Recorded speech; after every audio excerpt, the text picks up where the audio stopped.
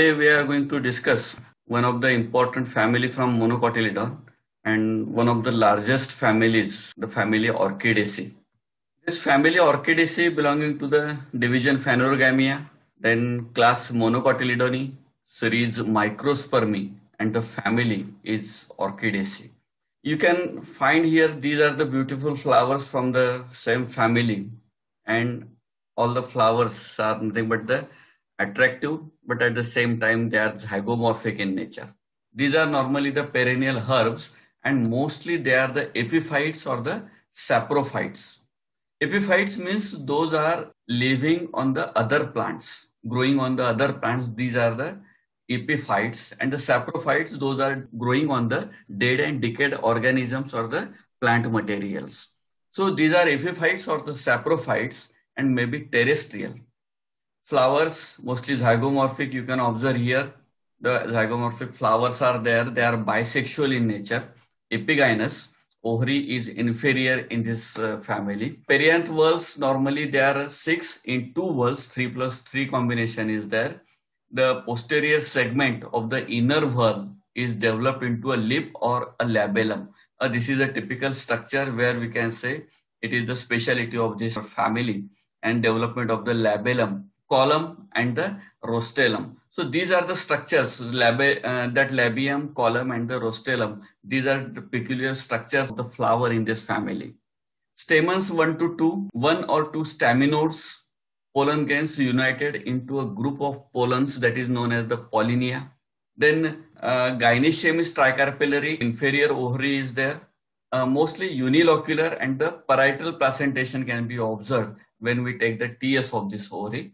The fertile stamens uh, is adherent to the style and the forms uh, with the column or the we can say it is the gynostemium.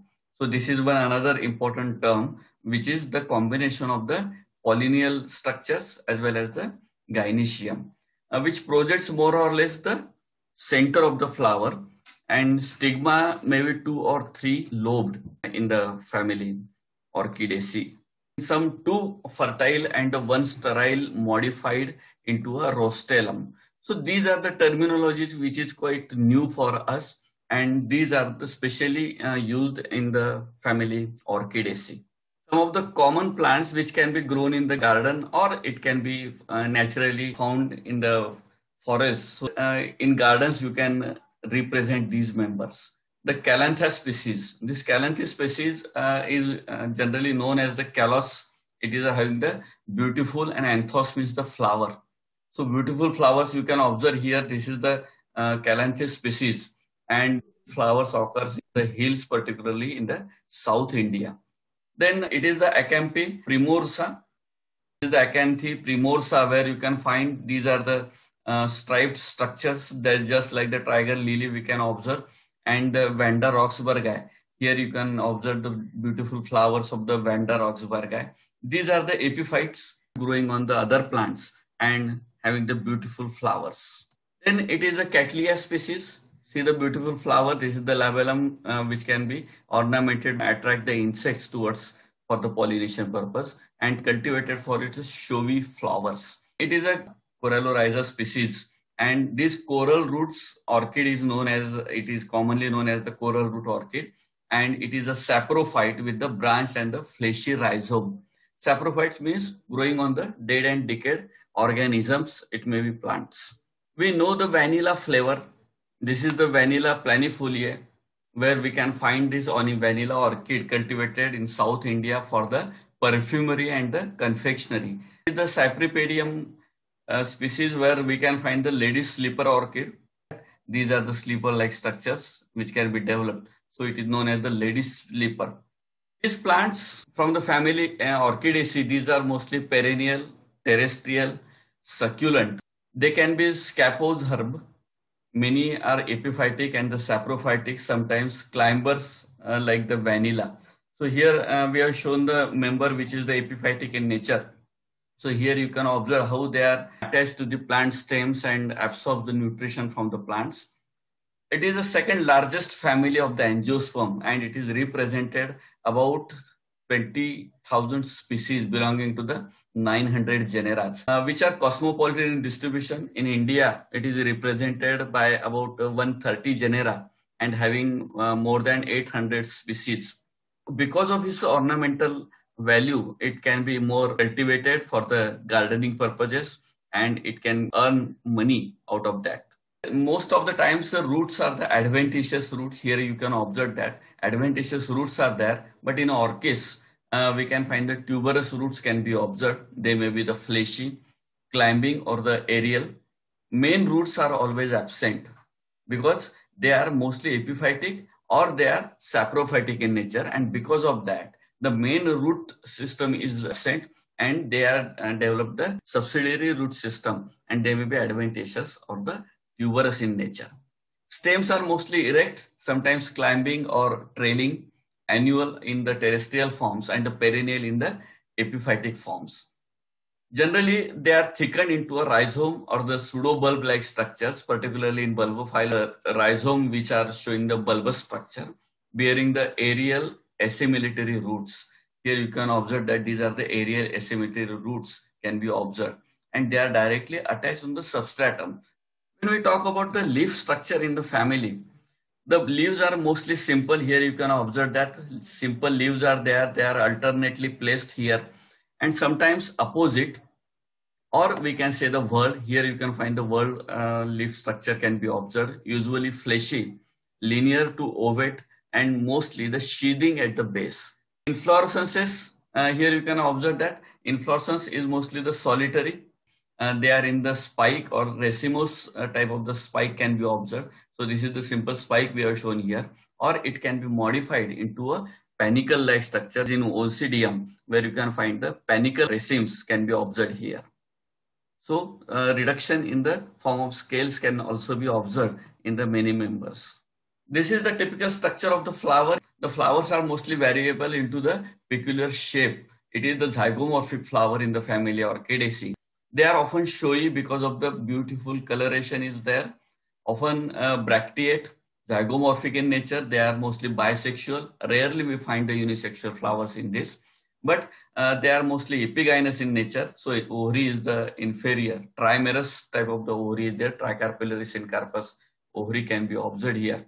The ovary is twisted to the 180 degree or upside down position in the orchidaceae flowers.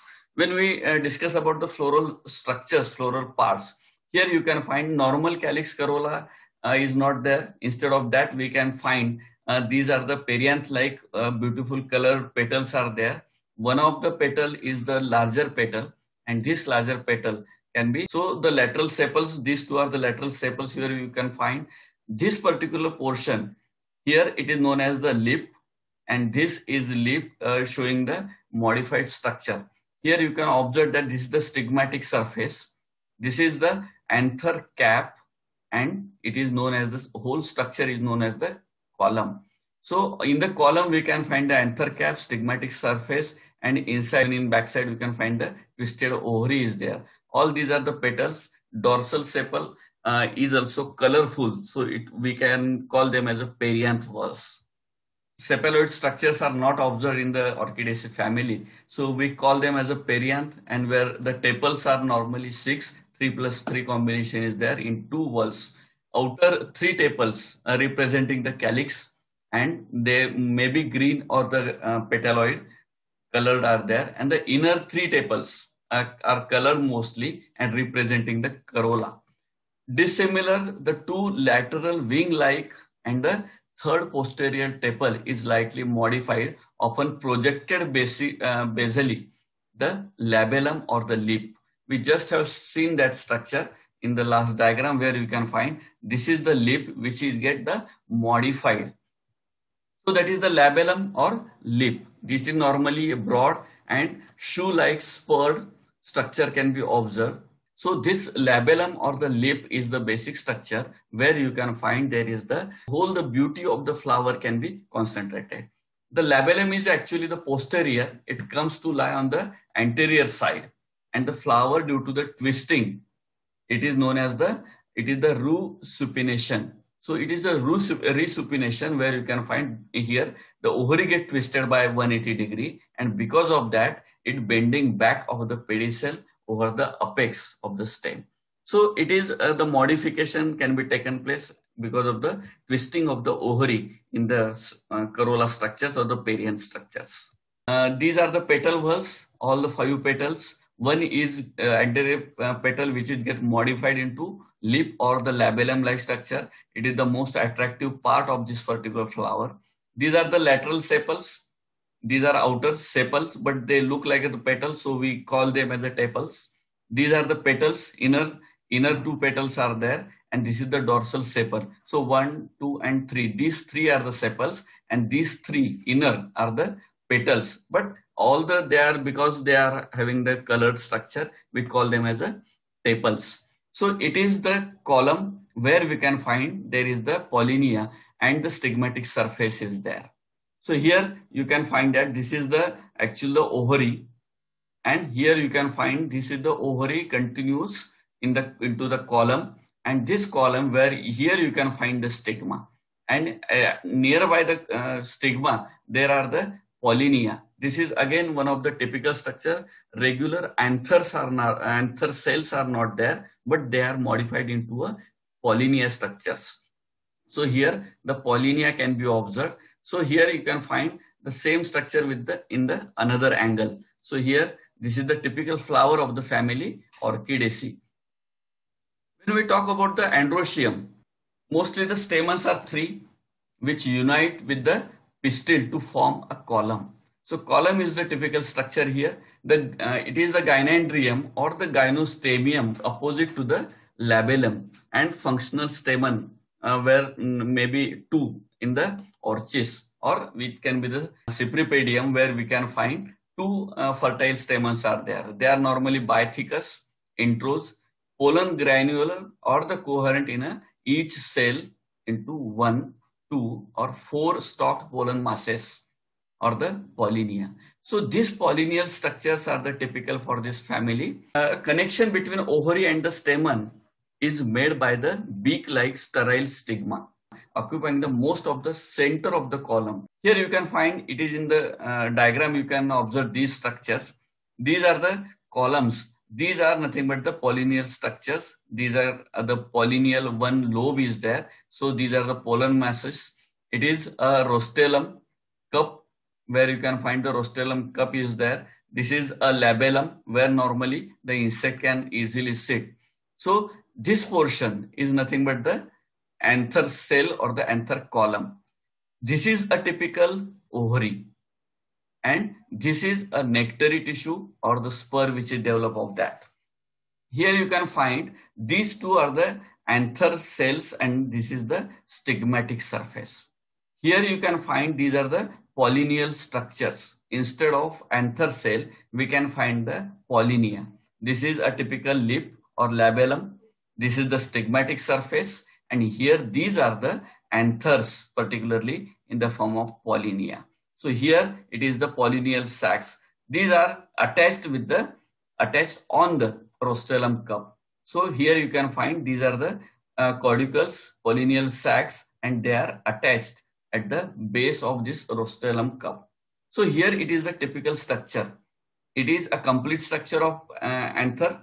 Here it is a in cup. It is fitted. It is known as the rostellum cup. This is the caudicle or the stalk of pollinia and this is the pollineal sac. It is a tricarpellary syncarpous gynoecium. It is uh, ovary is inferior.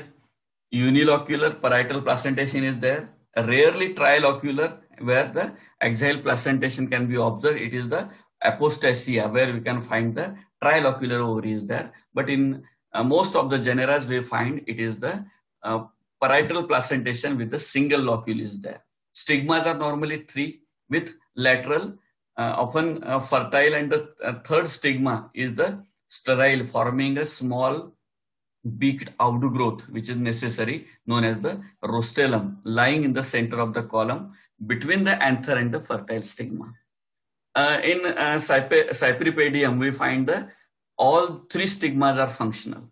So though there are tricarpellary syncarpous ovary, three stigmas are there, but only two are fertile, and one is forms the rostellum, where there are the uh, this particular rostellum in the rostellum cup, we can find the presence of uh, attachment of the pollineal sacs is there.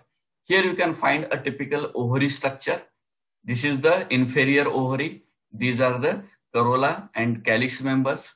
This is forming a cup-like structure sorry column of the त्याला आपण gynostemium म्हटलेलं आहे so this is the column and here this is the stigmatic surface Now here you can find the this portion.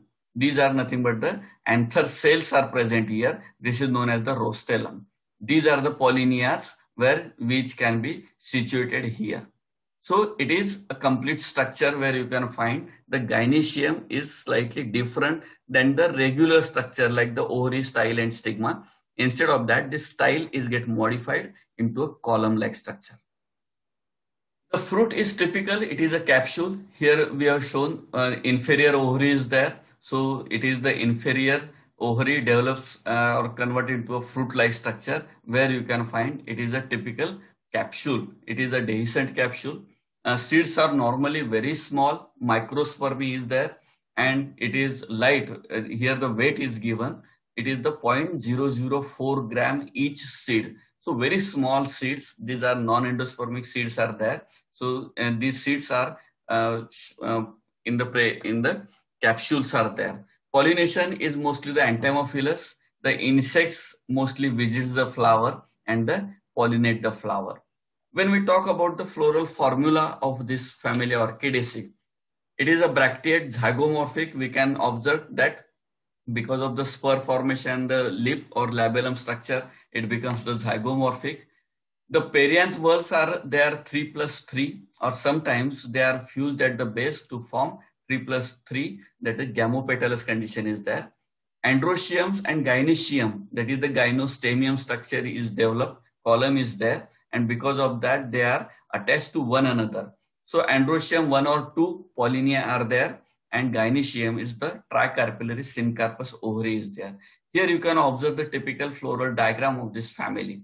This is the particular bract. These are the outer whorls we know as the sepals. Those are shown in the green. Here the arrow is shown that axis has been changed and because of that uh, the complete twisting of the ovary is taken place. Here, these are the three sepals. These are the three petals. Out of those, these are the lateral petals are normal colored and one is get modified into a labellum or the lip-like structure. So it is mostly, mostly the beautiful part of the flower, which can also shows having the presence of the nectar guides on that.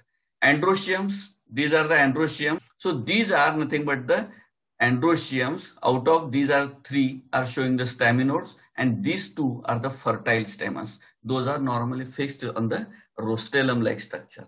So this is all about the uh, floral structure which is present in the flower of family Orchidaceae.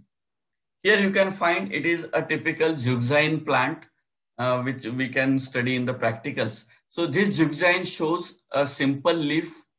They may be spirally arranged at the maturity and here you can find a typical twisting of the ovary can be easily observed here. So this is uh, one line which is present. Tricarpellary syncarpous ovary is there. And because of three ridges and furrows can be observed here. So here you can find that it is the twisting to the 180 degree of the structure. Here this is the typical flower. These are the calyx-like structures which can be shown here in the green. And these are the petals where you can find uh, one of them is modified into a lip-like structure of the labellum.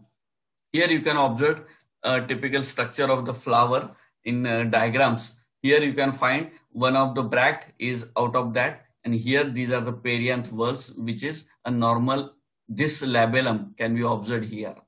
So this is the uh, racemose type of the inflorescence the rosette, uh, particularly whorl type of the phyllotaxy of the leaf can be observed here. And these roots are normally the uh, rhizomatous roots can be observed. So here you can find, uh, this is the typical yellows of the flower. Here you, you, can observe the pedicel.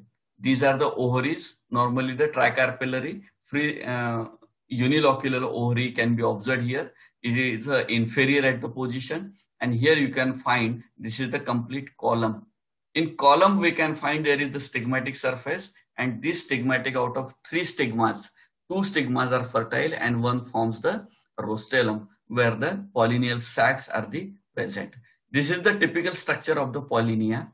This portion which connects two pollineas are known as the caudicle or it is the glandula. So here it is the glandular structure because of that it is known as the glandula. Here it is the caudicle which carries these two pollen uh, sacs. It is the caudicle and these two are the pollinium where the pollen grains or the pollen macules are present. So this is the uh, typical androecial structure and here you can find this is the gynoecial structure. When we uh, take the TS of ovary, here we can find that these are the parietal placentation can be observed. It is unilocular ovary. There is no partition or the septation has been taken place. And these three placenta bears the parietal placentae on the axil. These are very minute seeds that we just have uh, shown the weight of each seed. So these ovules are very small and multiple in the numbers. Here you can find the floral diagram of that particular structure. These two are the staminodes and these are the anthers. On the present, it is the attachment point that is known as rostellum, which is attached to the gynoecium. So it is the gynostemium structure. Labellum is nothing but the modified corolla lip. These two are the lateral lips and all other outer uh, structure which is known as the calyx which may be green or the petaloid in nature. So one bract is present and that bract is form a spur like structure the extension like structure. So because of that also we can find the addition in the beauty of the flower can be taken place.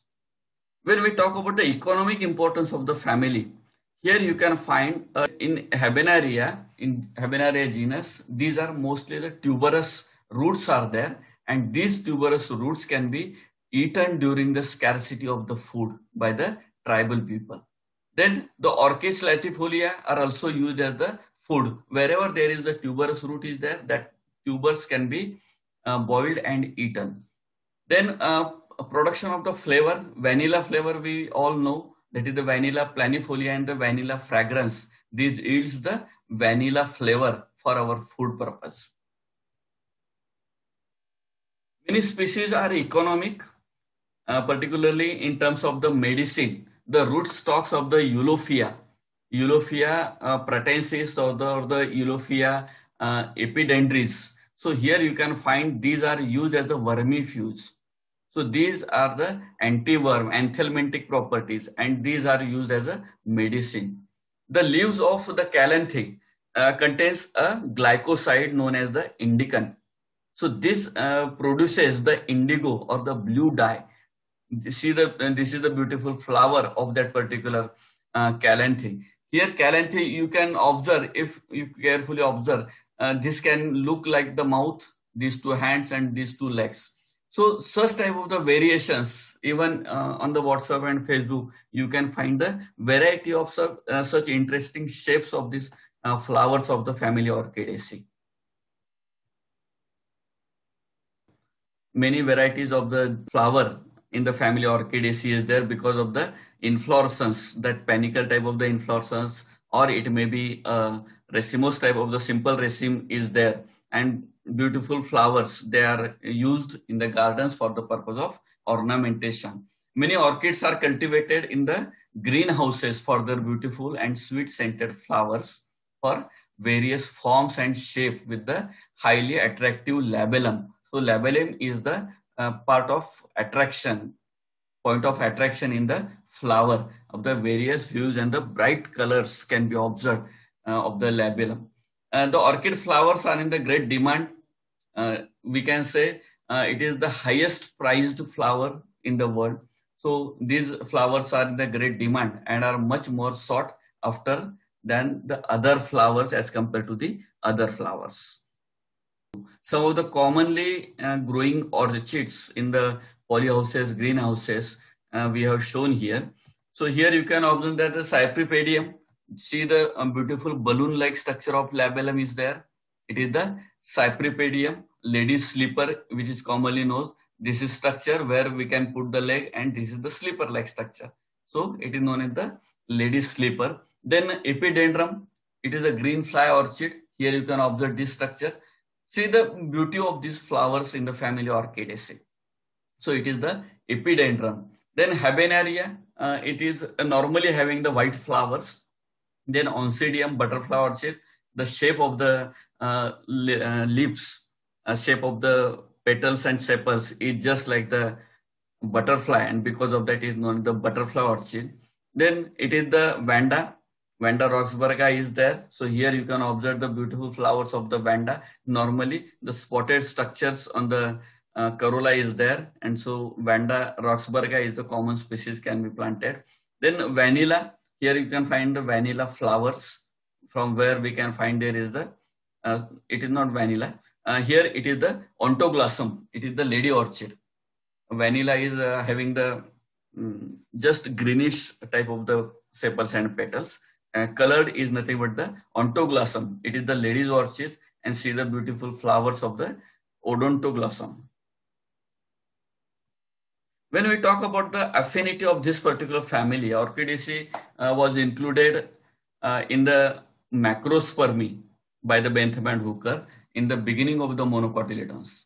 But we know that Hutchinson, Takhtajan, and the Cronquist placed the family under the Orchidales, and Corneille has placed Orchidaceae under the suborder Orchidae. So here, uh, slight changes has been taken place at the with the position of that particular family and uh, in order Liliales. So Orchidaceae is related to the epigynous components of the Liliflorae. Uh, Liliales मध्ये Liliflorae, flori नावाची order आहे so in Liliales we find lily Liliflorae shows the inferior ovary. So orchidaceae has.